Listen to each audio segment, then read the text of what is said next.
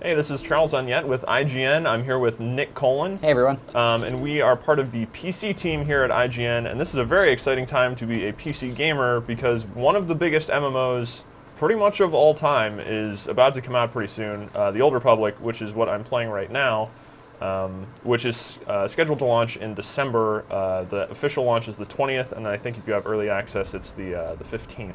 I believe, Nick. Yeah, is, that, that's- that correct? That's what we've heard so far. Yeah. Okay. Um, so at, at, I don't know how much uh, exposure you've had to this game so far. It's it's pretty familiar if you played like World of Warcraft or something like that. Uh, same kind of style. Uh, you can see him just going through the, the skill bars, triggering various abilities. I'll go through what my what my class can do uh, in a second. I'd just like to point out that those are called vine cats, and they don't look like cats at all. Uh, I think that's a subjective question, to be honest.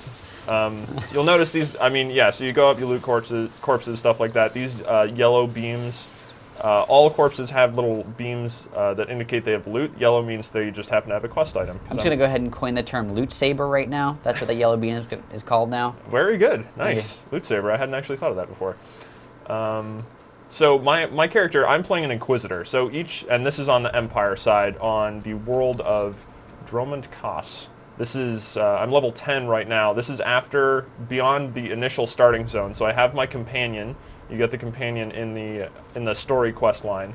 Um, who will run around and fight for me. I can dismiss or summon or anything like that. He'll help out. Um, I also have basically a Saber Strike here, uh, Shock Spell, um, Thrash that uh, does two weapon hits, uh, and various other electricity uh, spells, including uh, Overload, which is nice for entering a group. This is just a single target, but if I use Overload, it should do knockback. Yeah, so that's good for running into a group of enemies, just because I only wear light armor. Um, I don't necessarily want to be taking on a whole bunch of stuff at once, but I can do a lot of damage pretty quickly uh, by using all these electricity spells. Um, and then at level 10, uh, with every character class, there's another quest item. Uh, you get a chance to to specialize. So that's what I sort of have down here. I have Dark Heal, which is just a, uh, a healing spell. There you So go. So dark. It's, it's a very dark healing spell. Um, and then Lightning Strike, um, which is uh, which is more damage basically. Uh, where do I want to go here? I'm gonna go over in this area. Um, so I could have gone a different route with my uh, with my class specialization, but I chose Sorcerer, which is basically the the magic focus, and in this case, uh, the healer. So this is basically the Empire's uh, healer class. On the on the Republic side, you have the Consular, the Jedi Consular, who is also the sort of magic user equivalent. There's now there there are also uh, two other healers, one for each side. The bounty hunter has some healing ability, as does the trooper.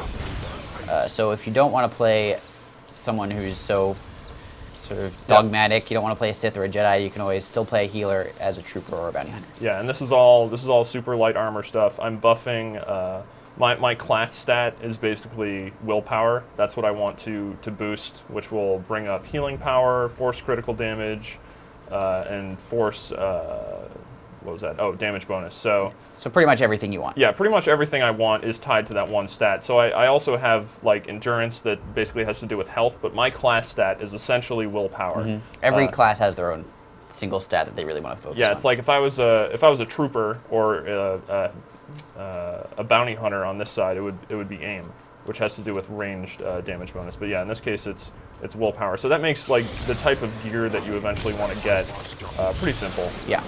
Um, because yeah, you're you're just basically looking for that one stat. Um, I will point out I'm not auto attacking here. I'm actually pressing the buttons to do every attack, and uh, every attack I pull off, uh, at least the special ones, consume force, which is my uh, whoops, which is my little recharging uh, resource here. I do the uh, the electrocute spell I've been using does have a little bit of a stun effect associated with it, as well as the shock. It can stun as well, and if I want to use some crowd control, I can do whirlwind uh, which if I channel here, will uh, will set them in in that shock state. So that could work for group encounters and things like that. If I just want to keep somebody out of the fight for a little while, while the rest of the team sort of goes in and does damage. Um, I also have a, a buff here, which I probably should have had active, but I not. Let me just kill this guy first. Uh, Mark of Power that increase its. Uh, oh wait, I know I did have it active. It uh, walls. Uh, increases stats for uh, for a little while. So Pretty much all of all the stats. It's a really good universal buff. You can put it on everyone. Yeah, so you want to you want to keep that up at all times. Uh, my quick travel here, I can I can move around to different areas of the map if I wanted to real quickly. Uh, there are also speeder bikes that you can use to get around. These are all little travel points that you can find on the map. One thing I like about this map, if you start moving, it goes translucent, so you can actually move around and highlight things on it um, while you can actually see what's going on, so you don't run into you know a giant um, group of enemies while you're trying to figure out what's going on. I also really like the style of this zone. Um, the Empire stuff seems to more, be more stylistically interesting, at least in the early levels, than the, uh, the Republic gloomy. stuff that I've Yeah. seen. It is gloomy, but it's, it's appropriately Empire. It feels uh, oppressive in all the right kinds of ways, while still being slightly cheery because, you know, it's a forest. Forests are nice.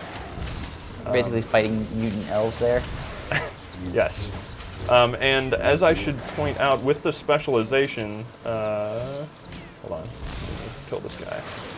Do some lightning, nice lighting effects on the lightning. Also, in terms of effects, uh, you, you get the nice cloth physics you can see on, on Khem Val here. Take a good look at his groin. Yeah. It's, it's flopping around a lot there. but also in, in my, my skirt that I'm essentially wearing here, uh, you know, you get the little bit of uh, uh, cloth movement there, which is uh, kind of a nice detail. Yeah. Um, anyway, sorry. So let's I see wanted- the skill want- tree. Yeah, I wanted to pull time. up the, the skill tree. So this is for the sorcerer. So you get the three branches, um, corruption, which is sort of the healing line. Which, when I eventually start playing for real, not in the beta, this is what I'm going to to build out. Um, and then you can also do damage and more damage. And I believe one of these is direct damage and one is more damage over time. Yeah. But for now, I'm going to put something into force critical chance by 1% increase as a passive. That is always useful. So I'm going to go ahead and commit that. And yeah, you get points as, as you level up. Um, uh, which, yeah, and then you can customize your character that way. Um, So it's, it's pretty standard from from MMO from, for MMOs. It's, it's very uh, safe. It, it's your standard skill tree, standard abilities. Yeah, it's, standard bas- it's basically everything you would expect, and then and then much later levels, um, you would uh, you would eventually get a spaceship um, and get to travel around the galaxy and everything like that. I, I'm not going to unlock that for a while. You have to go through all your story quests to get that, uh, so that's still a little ways off. So I'm, I'm basically just at the point in the game right now where I'm I'm character building, I'm finding out more about the world, and uh, yeah, going through the storyline stuff, which I haven't shown here, but it's actually really interesting because you do full on uh, full on cutscenes and everything like that. Um, anyway, that's uh, that's a quick look at uh, the Inquisitor with the the sorcerer build. Um, and for a lot more on the Old Republic, you can check out IGN.com.